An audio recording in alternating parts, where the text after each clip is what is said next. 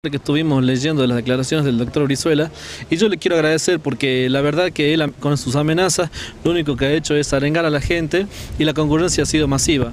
En el hospital de niño ha, concurrido gente de mantenimiento de la cocina que jamás había, había concurrido en las asambleas. En la maternidad pasó lo mismo, en el San Juan ha sido histórica la asamblea todo, todo, todo, todas están, están, como nosotros veníamos avisando, están ofuscados y están bastante, bastante molestos con la falta de respuesta del gobierno a los pedidos planteados por el sector salud y eh, se ha, eh, se ha resuelto en absoluta concordancia con todos los hospitales de iniciar un plan de lucha con paro para el miércoles, jueves y viernes de esta semana, pero sin dejar de atender a los turnos programados digamos, al paciente que gasta su dinero para venir del interior a atenderse, se lo va a atender, tanto en el hospital de niños como, como en el hospital San Juan y en la maternidad.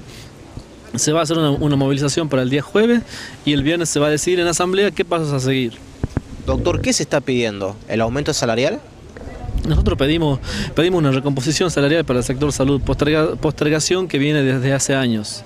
Esa la pedimos, como ustedes estarán al tanto, nos reunimos en numerosas oportunidades con el Ministerio de Salud, con el Ministerio de Economía, y hemos llegado a un punto de, quiebre porque no, tenemos respuesta. Tenemos reuniones, tenemos buen diálogo, tenemos respeto, pero respuestas no tenemos. Y nosotros con, con respeto ni con diálogo no llegamos a ningún lado.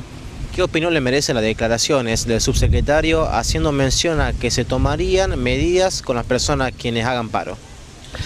Eh, yo la verdad, si usted me permite, le voy a mostrar el aval de la FESPROSA, que es la Federación de Profesionales de la Salud de la República Argentina, donde el que nos avala es un médico, si usted lo puede tomar, con personería gremial y con este, personería jurídica donde nos apoya en la medida y nos protege. Entonces yo le quiero transmitir tranquilidad a los compañeros trabajadores que no van a estar desprotegidos, que no están desprotegidos y que no van a recibir ningún tipo de sanción. Porque si nos tienen que sancionar, nos va a tener que sancionar a todos. Y los trabajadores de salud somos más o menos 750 médicos y 6.000, más de 6.000 trabajadores. Y todos, los, y todos los trabajadores están de acuerdo con estas medidas.